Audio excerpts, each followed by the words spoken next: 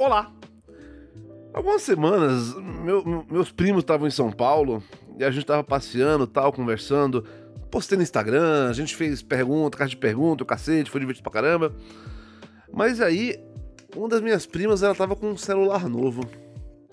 E no seu celular novo, ela colocou capinha, ela colocou protetor de tela. E aí tava falando, não, porque eu preciso do protetor de tela, porque vai que eu derrubo o celular e, e ele vai quebrar. O protetor protege ele e tal. Isso me. Tipo, Pera, pera, pera. Eu não estou dizendo que protetores de tela são inúteis.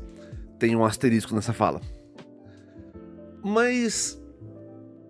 Você tá usando protetor de tela porque você tem medo de derrubar o celular? É, não, porque vai que o celular cai no chão e aí o protetor de tela protege. Tem um probleminha que protetor de tela não protege contra quedas. Se a sua preocupação é você derrubar o celular, uma capinha faz mais sentido. Hum, mas protetor de tela? Claro que protege, pô. Porque é uma coisa que fica entre a tela e a pedra do chão que aí protege do impacto. Você já viu um, um berço de Newton? Bom, acho que é berço de Newton que chama em português. Em inglês é Newton's Cradle. Mas a brincadeira é são quatro bolinhas. Aí você puxa essa. O Chinchilla vai botar uma imagem disso aqui funcionando, tá bom? São quatro bolinhas, aí você puxa uma delas. E quando ela desce, bate nas outras três. A força é completamente transferida para a bolinha do outro lado.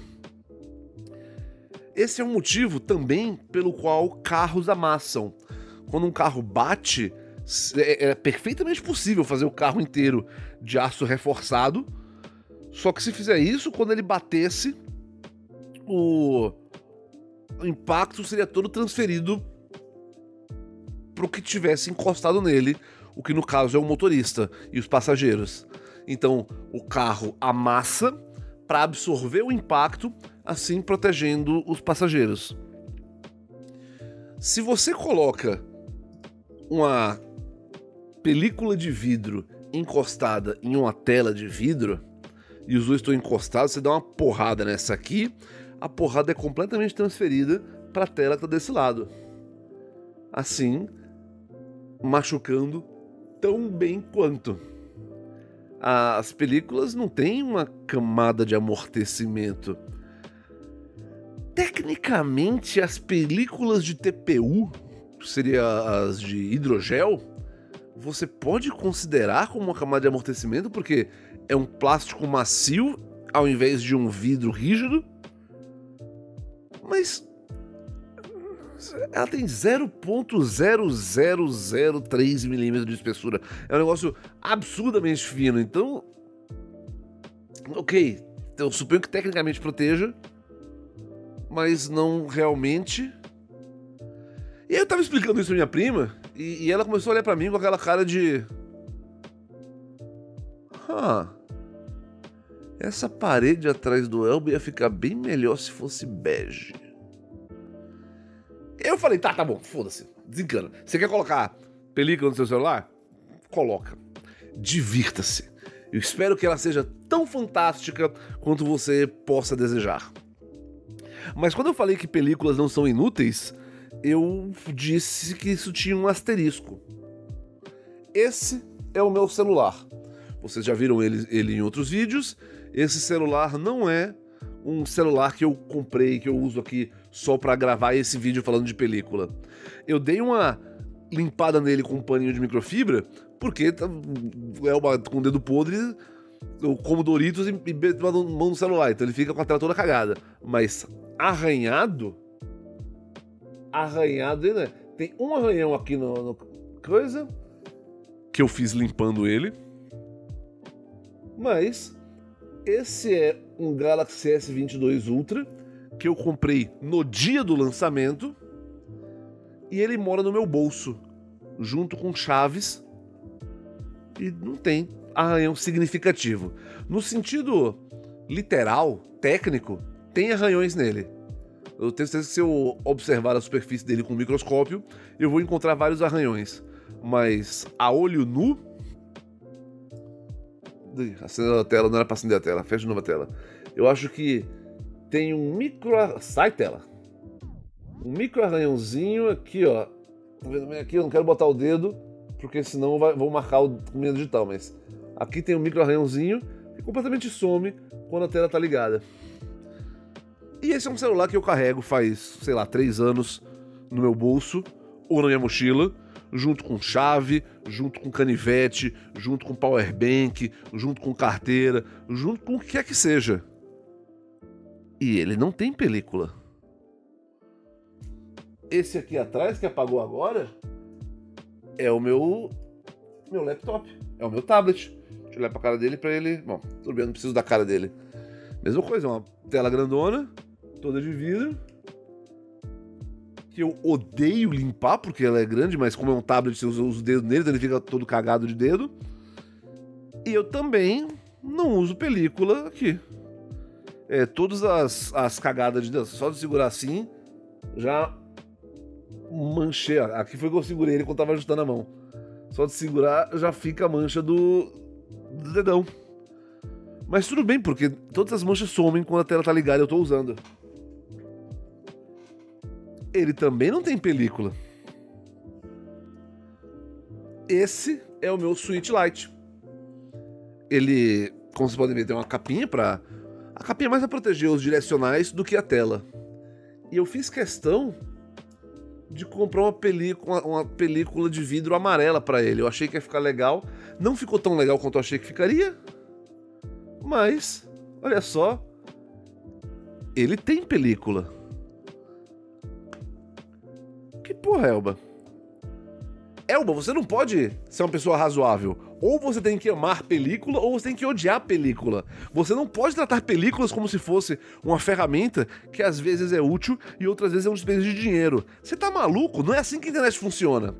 Bom, se você tem algum interesse em saber por que eu acho que em algumas utilizações película e capinha são importantes, porque eu acho que em outras utilizações capinha é importante. Tenho uma capinha no meu celular capinha é importante e película não, e por que em algumas aplicações, tanto capinha quanto película são desnecessárias.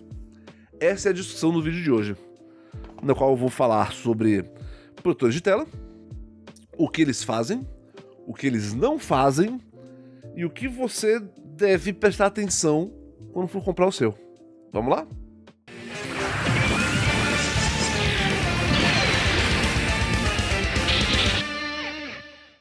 Bom, vou começar aqui botando um, um vídeo para passar. Afinal de contas, já peguei meu laptop mesmo, meu tablet laptop. Deixa o menininho aqui passando um vídeo de Flash and Blood. Quem sabe ele vira parte do cenário natural, hein? Protetores de tela foram inventados em 1968. Um ser pensante vai perceber que isso foi um pouquinho antes tipo, mais de duas semanas antes da invenção do smartphone. Os primeiros protetores de tela eram para televisão. Televisores em 68 eram muito caros, muito pequenos e um tanto raros. O primeiro protetor de tela era basicamente uma tampa de acrílico que encaixava na tela da televisão. Então eu suponho que se você tivesse criança pequena em casa, que tivesse, ou se o televisor estivesse num local público, isso impediria que uma pessoa jogasse alguma coisa na tela, ou passasse batom na tela, tinta, arranhasse com. tanto de propósito quanto por acidente. E a ideia era essa: era um. um parecia um caixote na real. Porque a televisão já parecia um caixote com a tela comparativamente pequenininha no centro. O primeiro produtor de tela era uma tampa de acrílico que encaixava, ela prendia dos lados da televisão e ficava o acrílico por cima da tela. Se alguém jogasse alguma coisa na televisão, arranhasse, pintasse, fizesse o cacete que fosse, isso ia na tampa de acrílico e não na tela. Claro, se você derrubasse uma televisão em 1968, você já teria problemas por outros motivos, né? independente de, da, da tela ou não. o dono da televisão ficaria pouquíssimo feliz com você.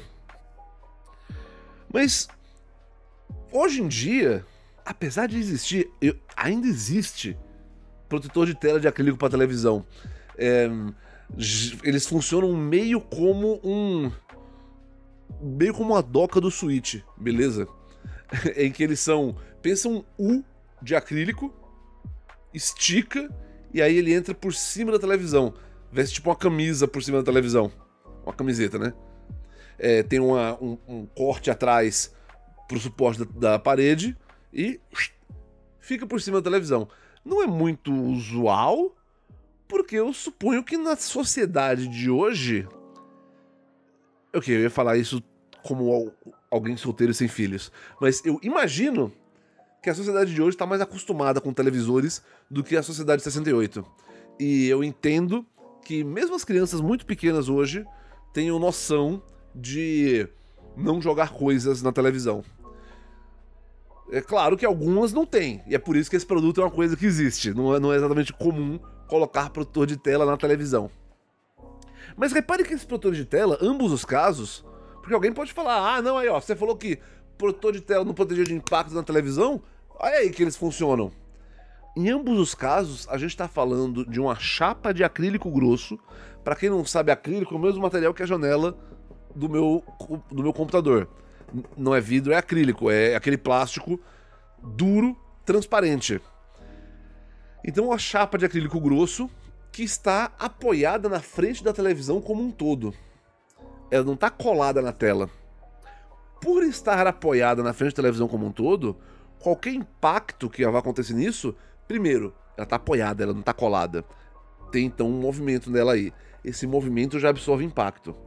Segundo, como ela as bordas da televisão são mais avantajadas que a tela em si, demorei um minuto para pensar na palavra, o impacto vai ser distribuído para as bordas e não para a tela em si. Um impacto que fosse atingir a tela teria que ser forte o suficiente para atravessar essa placa de acrílico. E aí, maluco, você jogou uma coisa com tanta força que atravessou uma placa de acrílico da grossura de um lápis, porra, sem, sem arma de fogo dentro de casa, por favor, né? Quando você vai pro universo dos smartphones. E, e ah, estão vendo que eu botei meu dedo aqui, né? Quando você vai pro universo dos smartphones, a ideia de película protetora não é nova. A ideia de você. Não só smartphone, é qualquer coisa com a tela. Acho que o Game Boy é a única coisa com tela que eu não lembro de acontecer isso, mas qualquer coisa com tela, ela sai de fábrica com um plástico protetor em cima da tela.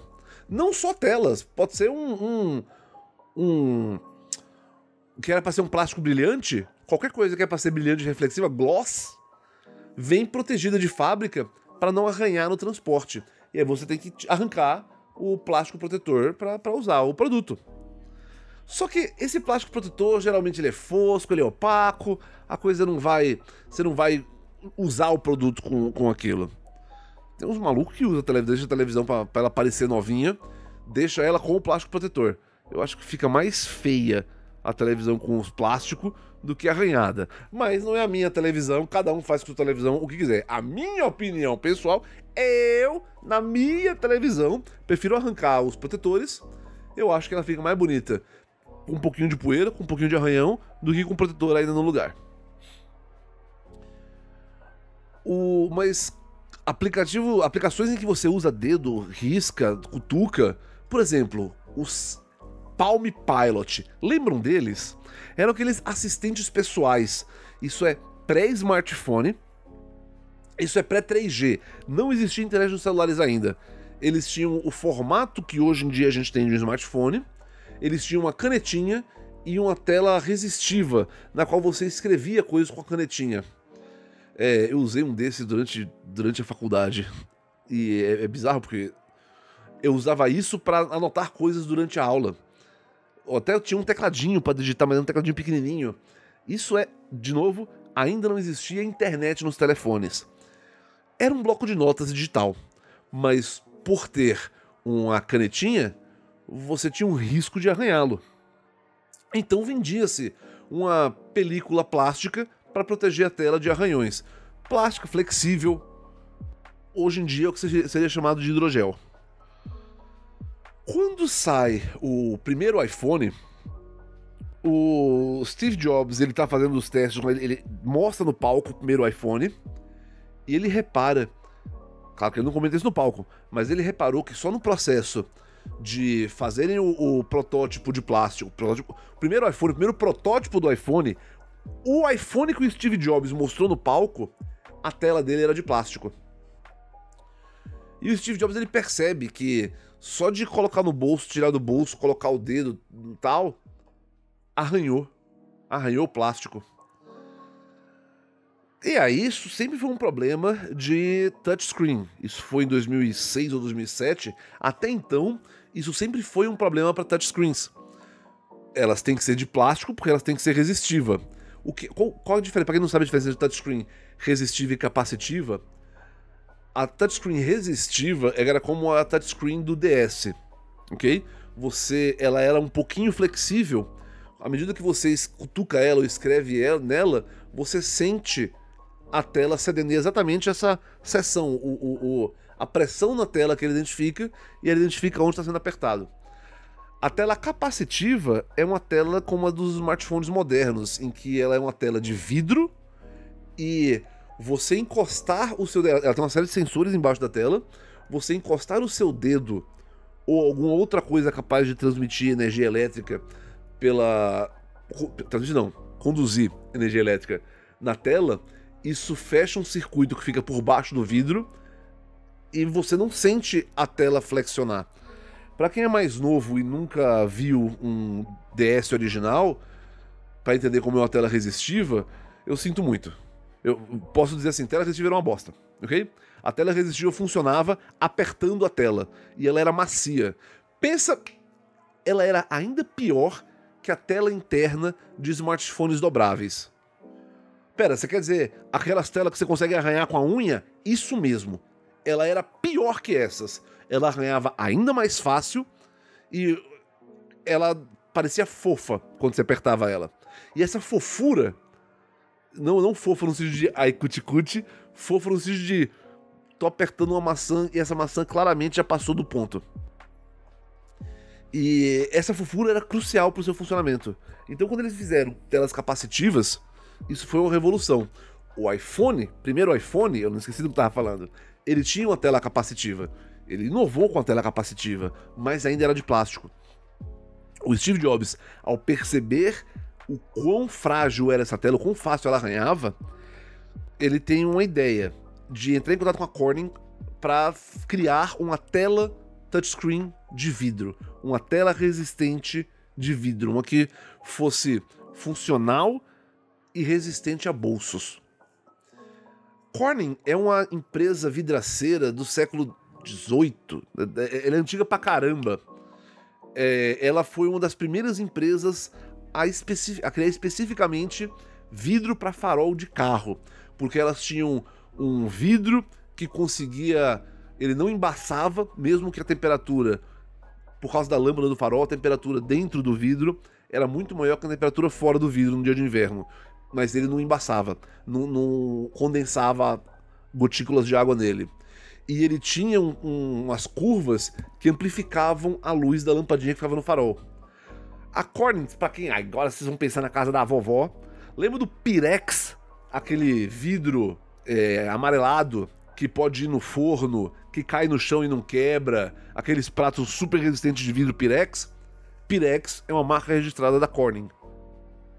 E aí, o Steve Jobs falou com a Corning porque ele queria um vidro temperado para ser usado na tela do iPhone. E assim nasceu o Gorilla Glass.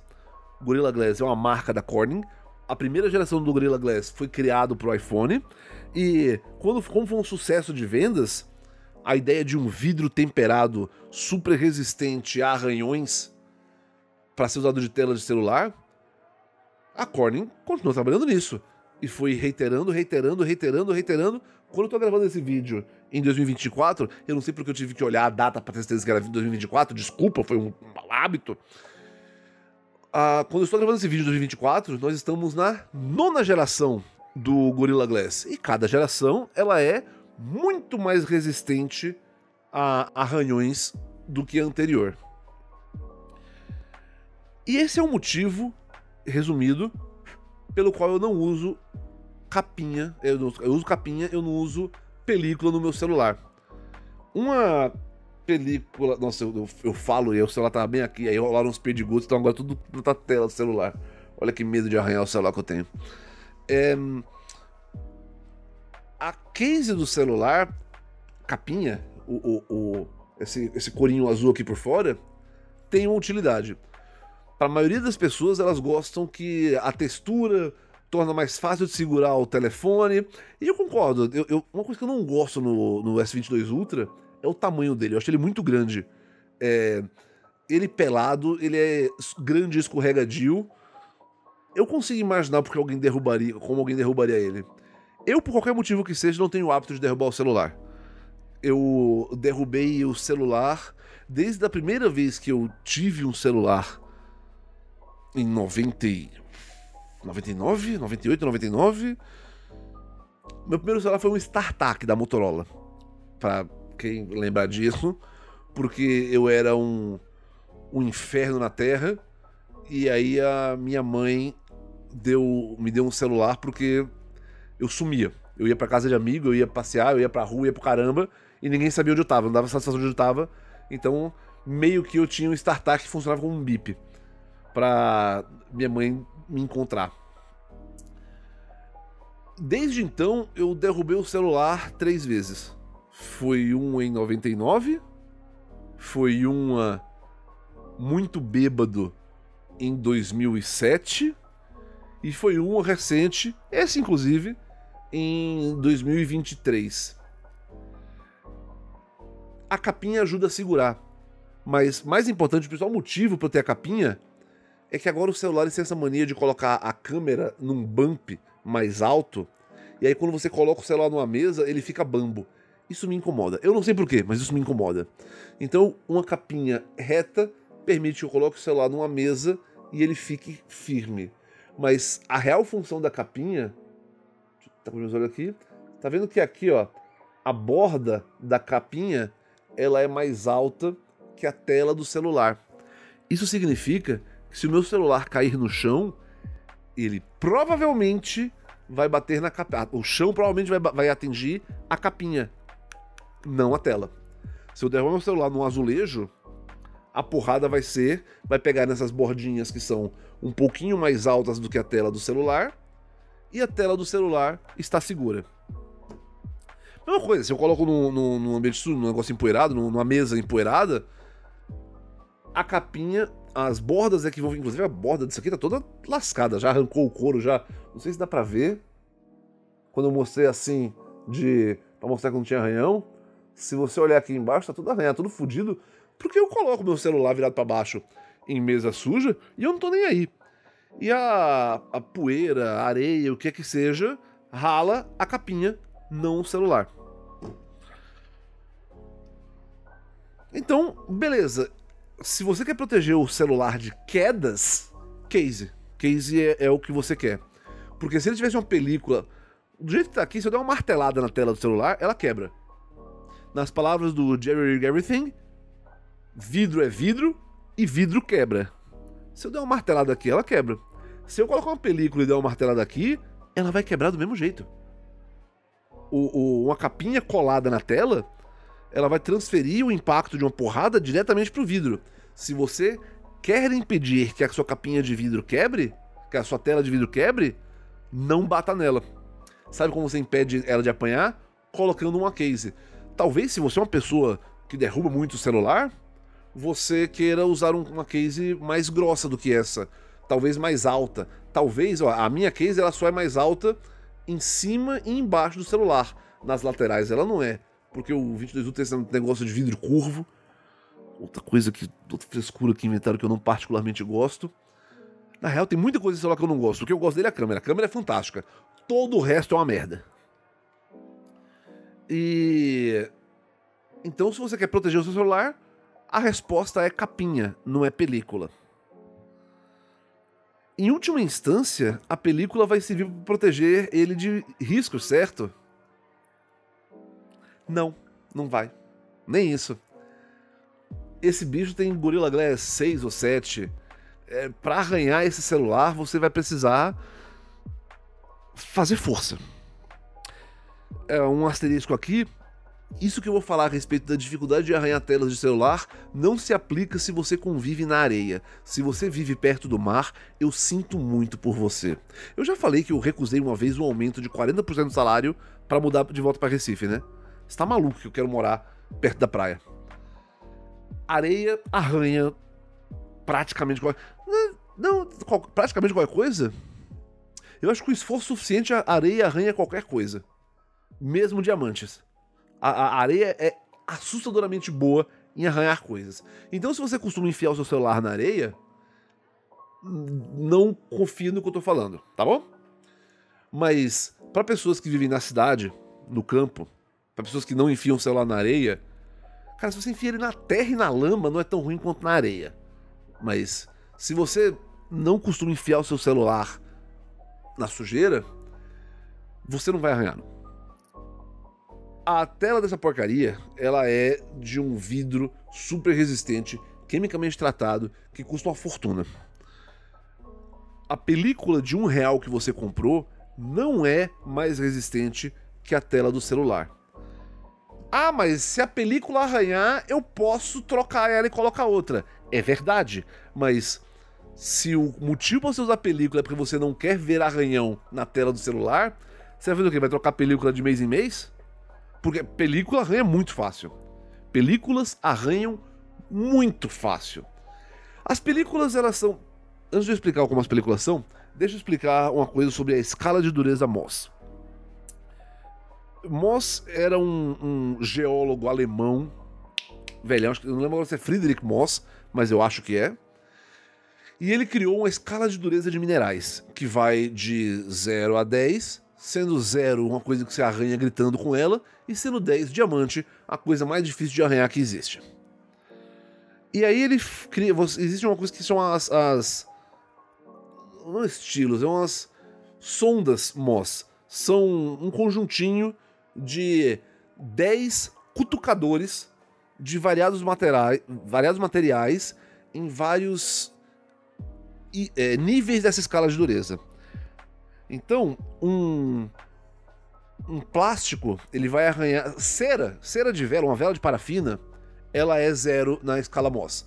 Você consegue arranhar cera de vela com qualquer coisa. É muito fácil arranhar um objeto feito de cera. Como eu disse, um diamante seria a escala 10 na escala Moss. É muito difícil arranhar um diamante. Uma questão de física. Quando dois objetos se esfregam um no outro, o mais duro arranha o menos duro. Nesse vídeo que está aqui atrás de mim, o Mr. Who's the Boss, ele fala uma coisa que eu achei muito correta. Eu nunca tinha pensado, mas faz pleno sentido. Que a forma mais fácil de você arranhar o celular é colocando ele junto com outro celular. Isso é porque o vidro das câmeras do celular geralmente é um vidro super endurecido, às vezes é de safira. E safira é um 9 na escala Moss. Safira arranha praticamente qualquer outra coisa, só não arranha diamantes. E aí ele bota, eh, bota o celular um atrás do outro, com a lente encostada na tela, e esfrega. E isso detona a tela completamente. Porque é um vidro de safira em cima do Gorilla Glass. Safira é uma das poucas coisas muito mais duras que Gorilla Glass, arregaça o vidro. E você vai ver isso em muita gente fazendo teste de dureza, teste de resistência. Que o cara pega tipo umas. Parece umas, uma, uma chave de fenda, só que não tem fenda, é só a pontinha para riscar e ver se risca. E aí o, o Jerry sempre fala, ah, não, porque o, o Gorilla Glass ele começa a arranhar no nível 6 e arranha de verdade no nível 7. É, telas de plástico, como por exemplo a tela do Nintendo Switch, ela arranha no nível 3, arranha no nível 2 e mais profundo no nível 3. Então, se você tem um material mais duro, ele é mais difícil de arranhar do que um material menos duro. As películas, hoje em dia, elas são feitas ou de plástico ou de vidro. E muitas delas têm aí seus nomes comerciais do marketing, o caramba. Não, porque não é vidro, é vidro cerâmica. É vidro temperado. É vidro mágico. Pouco importa, é vidro. Não, não é plástico, é hidrogel. É TPU. É o escambau virado do avesso. É tudo plástico, meu amigo. Você pode dar nomes. nomes.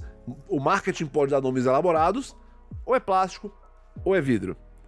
Se não for plástico nem vidro, não é transparente, você vai meio que inutilizar a tela. E aí, muitos, nossa, os caras muito espertamente colocam a película de vidro temperado, que é um nível 9 de dureza. Só que ele não fala que nível 9 de dureza na escala Moss. A escala Moss é uma escala de dureza. É a escala de dureza mais utilizada, mas é uma escala de dureza. Os caras falam vidro temperado 9H. 9H não é escala Moss. Que escala é? É a escala que o cara inventou para dizer que o vidro dele é uma 9. Se você pega os, os rabiscadores da escala Moss, ele continua arranhando no nível 6, arranhando mais ainda no nível 7. Um vidro de dureza 9 na escala Moss seria um vidro de safira, que é vidro ainda, mas o vidro de safira é basicamente, em vez dele ser feito com sílica, ele é feito com outros materiais. Ele não realmente é safira. Inclusive a tela do, do Apple Watch, que anuncia que é de safira, os caras tomaram umas cacadas, porque quando os joalheiros fizeram os testes para ver se era safira mesmo, olha só, não é. É tipo 1% safira. Mas ainda é um vidro especial, tratado, super duro, super resistente. Películas de safira existem. No vídeo aqui atrás de mim, o Mr. Who's the Boss usa uma. Ele pagou 80 dólares na película. Uma película de safira provavelmente vai impedir, vai segurar arranhões melhor que a tela do seu celular. Mas película de vidro temperado, película de hidrogel, película de plástico, película de vidro cerâmica é, na melhor das hipóteses, tão resistente quanto a tela do celular. Tão dura quanto, tão resistente quanto a riscos. Ah, não, mas se ela é tão resistente quanto a tela do meu celular, então eu posso colocar a película e. E aí, quando ela arranhar, se ela arranhar, depois eu troco a película, porra, mó bom. É, é, é verdade, você pode, exceto por todos os problemas de usar película, né? Esse celular, por exemplo, ele tem uma, um leitor de digitais embaixo da tela. Se. Oxi. Leitor digital embaixo da tela. Se eu olho para ver o que vai abrir na tela antes de, de virar para o celular, é melhor, mas se eu coloco uma película, esse leitor de digitais na tela não necessariamente continua funcionando. Você colocar um vidro por cima do vidro vai diminuir a clareza. Não, mas é tão transparente. Vai diminuir a clareza. Pode ser. E aí eu concedo. Pode ser que a quantidade de que diminui a clareza seja imperceptível olho nu. E aí passa a mão. Mas dificuldade de instalar, o saco quer colocar, fazer até leitor digital parar de funcionar. E aí, em última instância, um protetor de tela que vai ser tão duro quanto a tela do seu celular não vai custar 50 reais, 30 reais. E isso eu tô falando, não tô falando de preço de shopping, tô falando de preço de comprar, de importar, hein? Um protetor de tela tão duro quanto a tela do seu celular, ele vai custar entre 40 e 60 dólares comprando no AliExpress. Se você for comprar aqui no Brasil, decuplica isso, ok? E aí começa a porra, maluco, vou pagar 300 conto, 200 conto, ah, vai com os impostos, né? 300 conto pra película. Porra, quanto custa uma tela nova?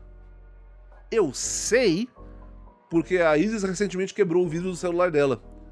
E aí foi trocar na autorizada e foi 200 conto. Não quebrou a tela, quebrou o vidro. E foi 200 conto. Então, se para trocar o vidro inteiro custa 200 conto, qual o sentido de pagar 40 dólares numa película? Mas, películas não são inúteis.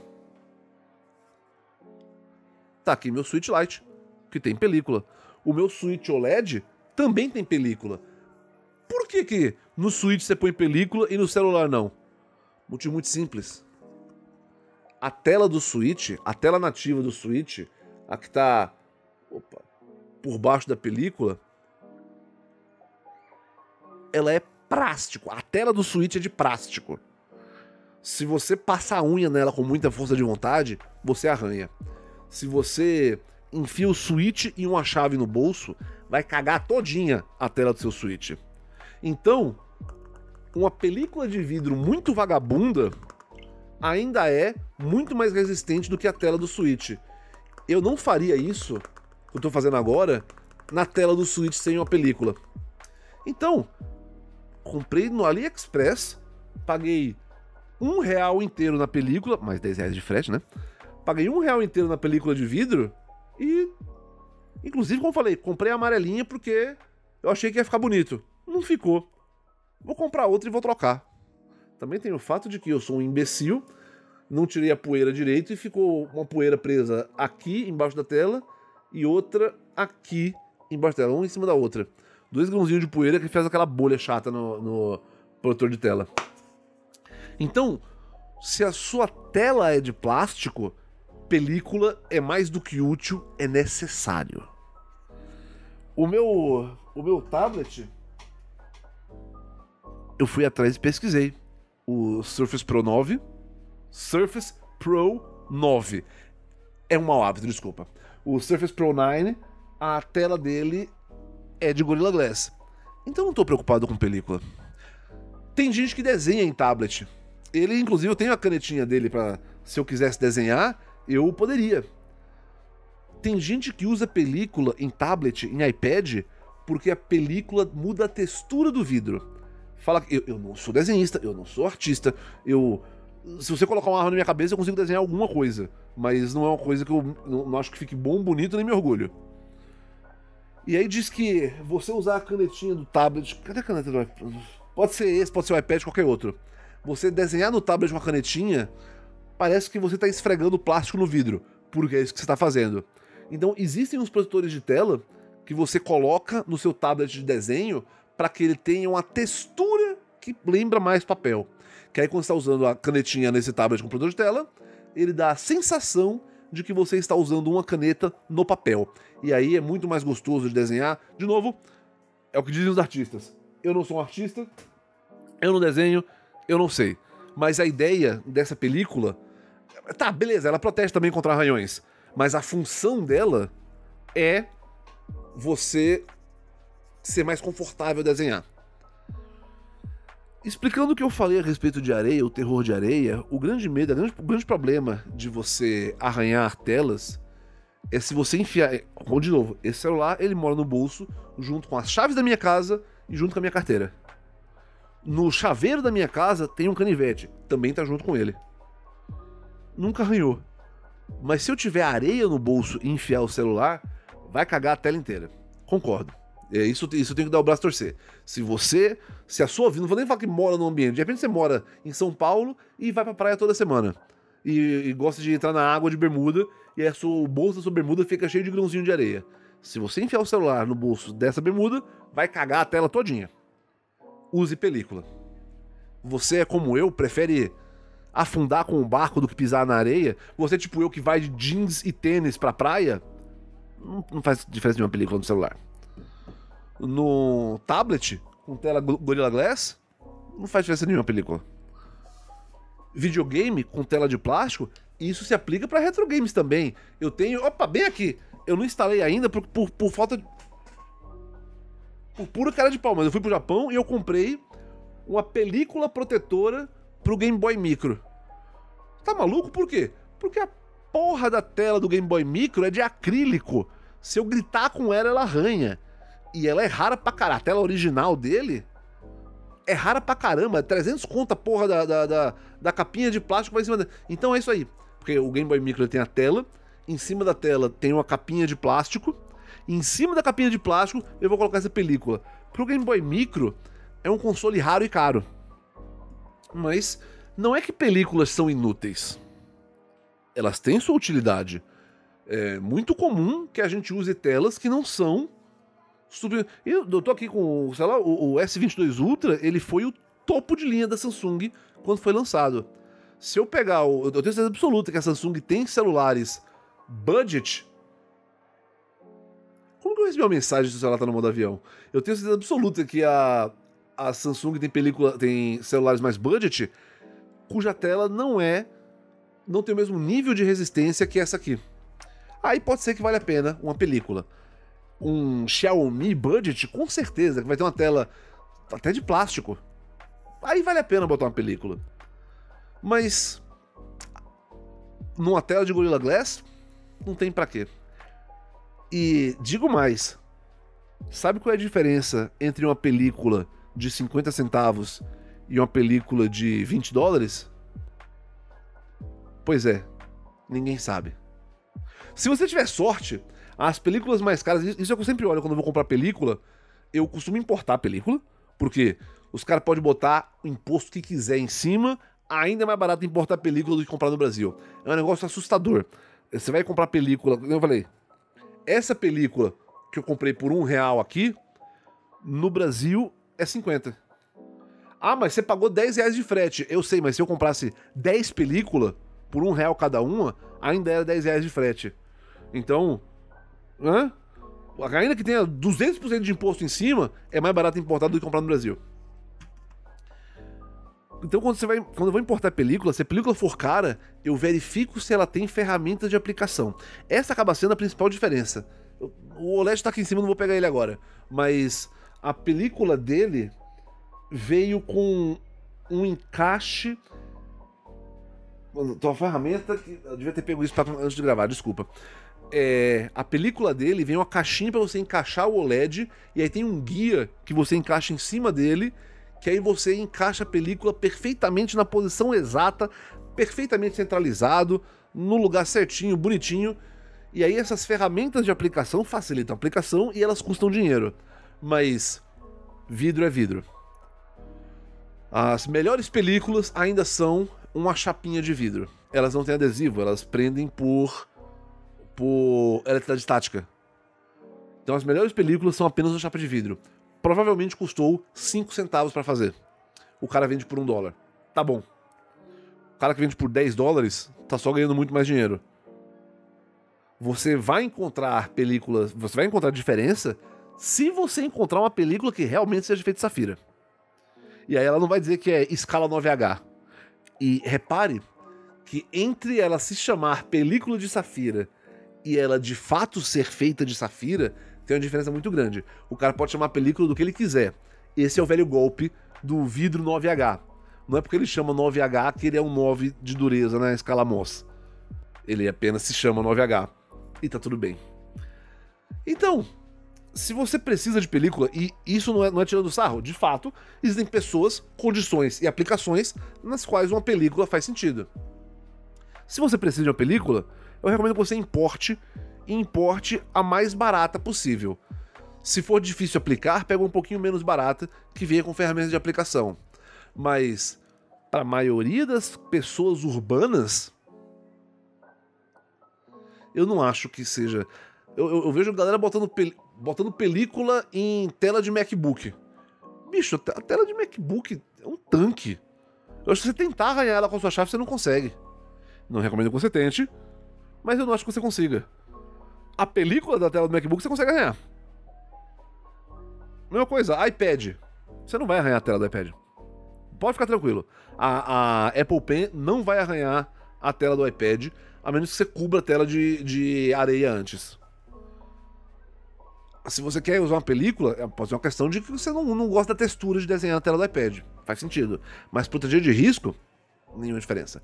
Para proteger de queda, esquece. Se o seu medo é derrubar o celular, o tablet, o laptop e ele quebrar a tela, esquece película. A película, ela não atrapalha, ela não vai tornar a sua tela mais frágil, mas ela também não vai tornar a sua tela mais resistente.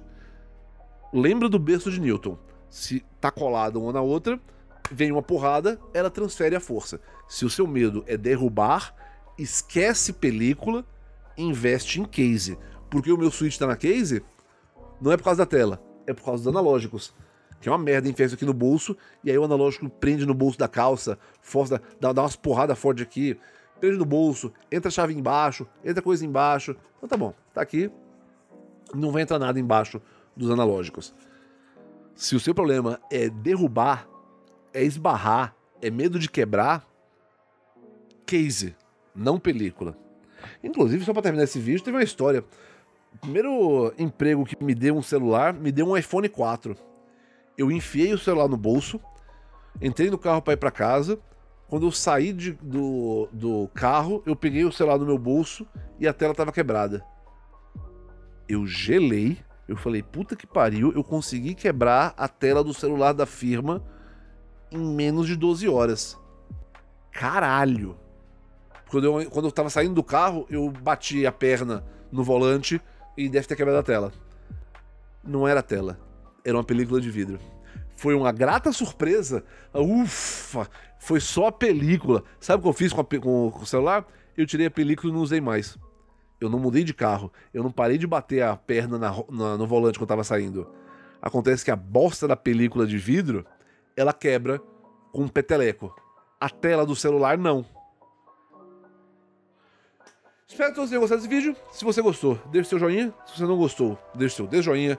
Dúvidas, opiniões, comentários, sugestões? Seção de comentários é de vocês. E se vocês querem ajudar o Diz a continuar crescendo e comprando eletrônicos para usar sem película, tem um link no apoio na descrição, através do qual você financia tudo que eu faço por aqui. Espero que todos tenham se divertido e até a próxima. Tchau, tchau! Olá! Lendo os comentários do vídeo sobre quase todos os jogos do Mario. O Manuel QR disse: Cara, eu te conheci pelo vídeo das camisetas, eu tenho zero interesse na maioria do que você faz, mas eu ouço enquanto tô trabalhando, tu é engraçado e fala de um jeito carismático. Então fico aqui vendo sobre Japão, RH, notícias do mundo nerd e tal. É, Manuel, muito obrigado. Às, às, vezes tem gente que chega pra mim na rua e fala: Ah, não, pô, eu assisto seu canal, mas. Ah, mano, eu não gosto de médico, desculpa aí. Tá tudo bem tá tudo bem. Eu sou. Se você tá assistindo o vídeo do cabo a rabo, eu sou pago. Se você assiste porque você gosta da câmera, porque você gosta da minha voz, porque você gosta do conteúdo, tá assistindo, pra mim tá tudo maravilha. o Truer1848, assim como várias outras pessoas, disse: se, vai, se tem um vídeo do Mario, tem que ter um do Sonic. É, é que eu já fiz vários vídeos sobre os jogos do Sonic. Além do que, diferente do Mario, a maioria dos jogos do Sonic são ruins. Sonic 1, 2, 3, Knuckles e Mania são jogaços. O resto, na melhor das hipóteses, é ok. Uh, o CC Legal, a mais. Não foi só ele, inclusive, né? Que diz que o Chinchilla deu uma vacilada. Colocou Command Conquer no lugar de Conker's Bad Fur Day. A culpa é minha, na real. Eu sei, eu sabia que o Chinchilla não jogou. O Chinchilla não era do videogame quando era moleque. Então eu sei que eu tenho que conferir os, os quando ele bota capa de videogame. E eu só esqueci de fazer. Então, não bota a culpa no Gigilo não. A culpa dessa vez foi 100% minha. Bom, pessoal, esse é o tempo que temos por hoje. Espero que todos tenham se divertido. Até a próxima. Tchau, tchau.